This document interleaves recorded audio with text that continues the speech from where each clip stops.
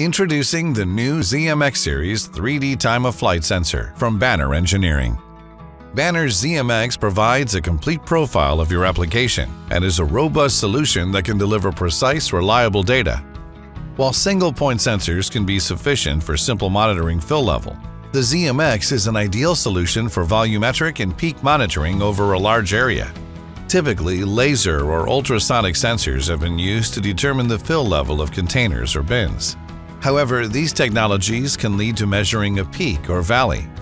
The wide field of view of Banner's ZMX accounts for peaks, valleys, and other variations in the target to accurately provide an average volumetric fill percent and the highest peak height.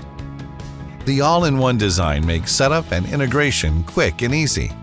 Simply mount your sensor, define sensing conditions using the intuitive PC GUI or industrial communications, and begin sensing. No external PC or controller is needed after the initial setup.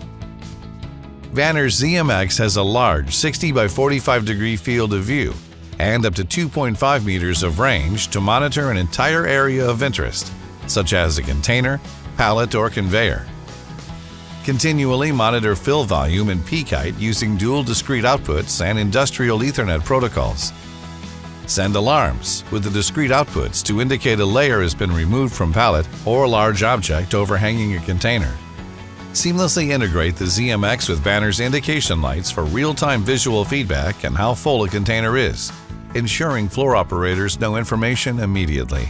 Measure and monitor the contents of your entire container, bin, or pallet with Banner's new ZMX Series 3D Time of Flight sensor. For more information, please visit bannerengineering.com.